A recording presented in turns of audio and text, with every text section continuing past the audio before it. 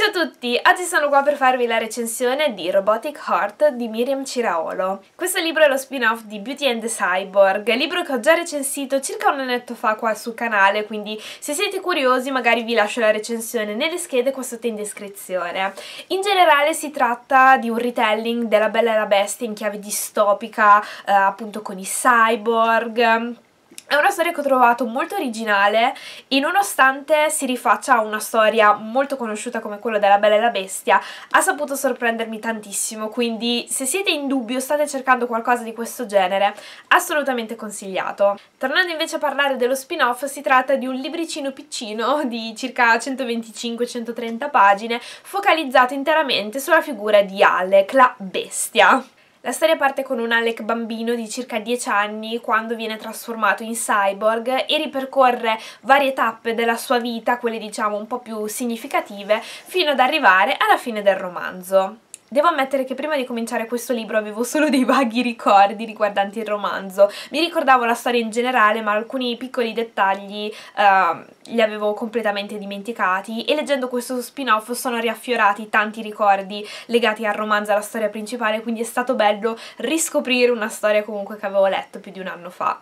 Devo dire che è stata una lettura molto piacevole, innanzitutto perché Alec è il mio personaggio preferito di Beauty and the Cyborg, quindi è stato bello ripercorrere un po' um, la sua vita, la sua trasformazione in cyborg, come l'ha vissuta, come è cambiato il suo rapporto uh, con i genitori, con i fratelli, um, entrare un po' più nel nel suo personaggio è stato per me veramente molto interessante, anche perché si parte da Alec bambino, poi adolescente, adulto, insomma lo vediamo in varie fasi, quindi è stato veramente bello. Non solo riusciamo a comprendere meglio questo personaggio, ma anche il suo rapporto con gli altri personaggi della storia. Inoltre verso la fine lo spin-off si va a intrecciare con la storia principale del romanzo, quindi vediamo la storia dal suo punto di vista. La cosa che mi ha colpito maggiormente è il rapporto che ha Alec con se stesso, come si vede come affronta il cambiamento non solo fisico ma soprattutto sentimentale ed emotivo.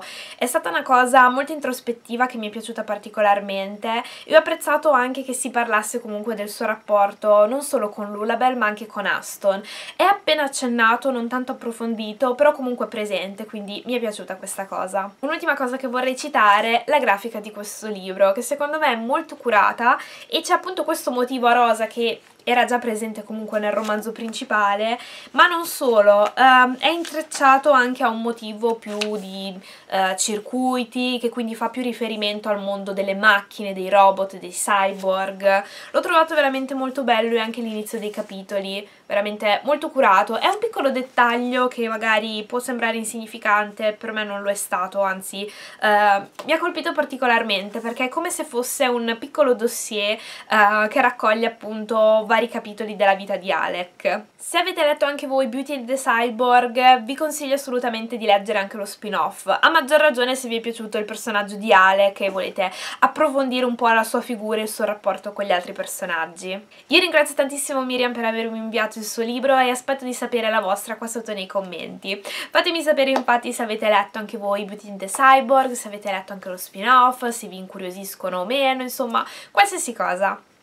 Spero che questo video vi sia piaciuto e noi ci vediamo alla prossima. Ciao!